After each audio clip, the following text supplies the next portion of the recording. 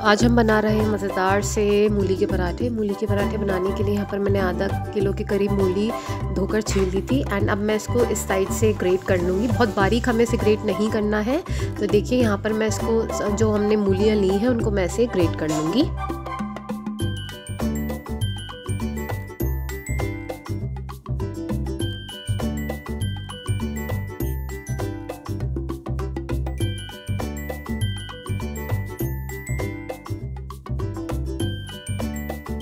तो ये हमारी जो जितनी भी मूली थी वो आ, मैंने ग्रेट कर ली है।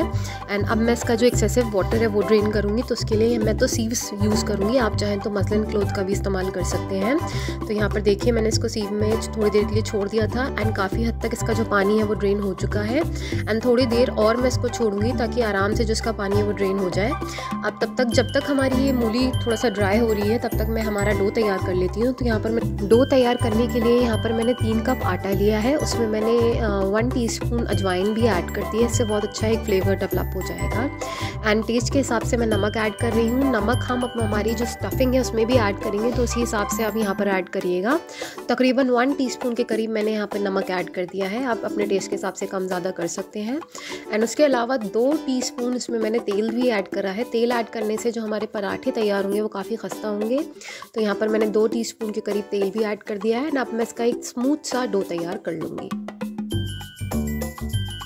डो तैयार करते हुए हमें ये ध्यान रखना है कि बहुत ज़्यादा सॉफ्ट भी होना नहीं चाहिए एंड बहुत ज़्यादा टाइट भी हमें नहीं रखना है। तो बीच में कंसिस्टेंसी हमें उसकी रखनी है एंड एक स्मूथ हम उसका डो तैयार कर लेंगे ताकि बहुत मज़े के खस्ता से पराठे हमारे तैयार हों।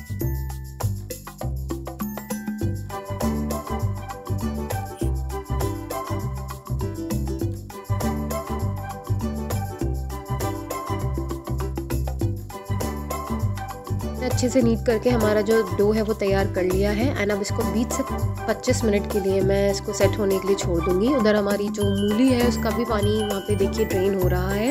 एंड आप चाहें अगर आपको जल्दी है तो आप मजलिन क्लोथ का भी यूज़ कर सकते हैं। यहाँ पर आराम से जो पानी है वो ड्रेन हो रहा है।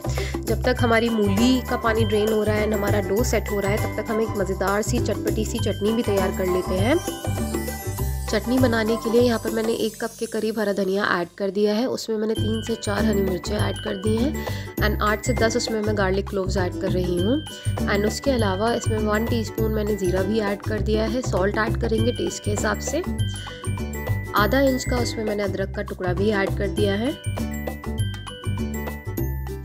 एंड इसके अलावा इसमें मैं वन टीस्पून कर्ड ऐड कर रही हूँ। सब चीज़ों को मिक्स कर कर अच्छा सा एक स्मूथ सा पेस्ट तैयार कर लेंगे।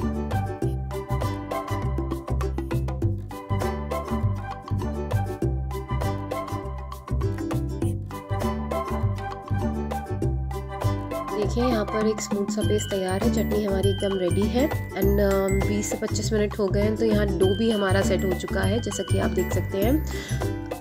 उसके अलावा हमारी जो मूली है, उससे भी पानी जितना भी हमें ड्रेन करना था, वो ड्रेन हो चुका है।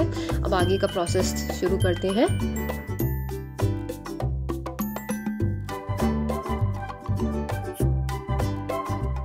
मूली हमारी ड्राई हो चुकी थी तो उसे मैंने एक बाउल में ट्रांसफ़र कर लिया है।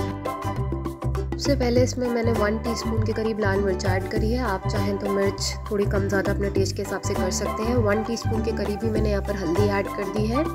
एंड वन टीस्पून ही इसमें मैंने कोरिंडा पाउडर भी ऐड कर दिया है। नमक हम अभी ऐड नहीं करेंगे क्योंकि नमक ऐड करने के बाद मूली पानी छोड़ देगी।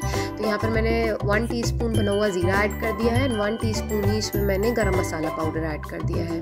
उसके अलावा इसमें मैं एक हरी कटी हुई मिर्च भी ऐड कर दूँगी। वो ऑप्शनल है अगर आपको ज़्यादा स्पाइसी नहीं पसंद है तो आप इसे स्किप भी कर सकते हैं। उसके अलावा हाफ़ टी स्पून इसमें मैं खटाई भी ऐड कर रही हूँ। सब चीज़ों को अच्छे से मिक्स कर लूँगी। एंड लास्ट में जब हम आ, हमारी जो स्टफिंग तैयार हो जाएगी तब मैं इसमें नमक ऐड करूँगी। पहले से नमक ऐड नहीं करेंगे। सब चीज़ें देखिए मैंने ऐड कर दी हैं। तो यहाँ पर देखिए सब चीज़ों को मिक्स कर लिया था एंड अब लास्ट में मैंने इसमें नमक ऐड कर दिया है।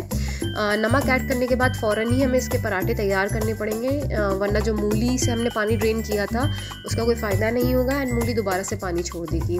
तो यहाँ पर डो भी हमारा तैयार है एंड अब मैं इसकी बॉल्स तैयार करके इसकी इसमें मूली की फिलिंग कर लूँगी। यहाँ पर मैंने पेड़ा तैयार कर लिया था एंड उसमें मैंने स्टफिंग ऐसे फिल कर दी है एंड अब इसको मैं सब सारी साइडों से ऐसे बंद कर लूँगी। स्टफिंग की क्वांटिटी आप अपने हिसाब से कम ज़्यादा कर सकते हैं। तो देखिए यहाँ पर मैंने इसको ऐसे अंदर भर के हमारा जो पराठा है वो मैं तैयार कर रही हूँ एंड इसको अब मैं अच्छे से बेल लूँगी। पराठा मैंने बेल लिया है, इसको मैं तवे पे ऐड कर दूँगी।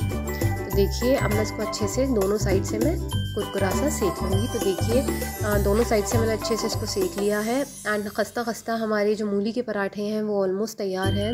एंड बहुत ही मज़े के तैयार होते हैं। विंटर्स में स्पेशली बहुत मज़े की रेसिपी रहती है तो लाजमी इसको ट्राई करिएगा।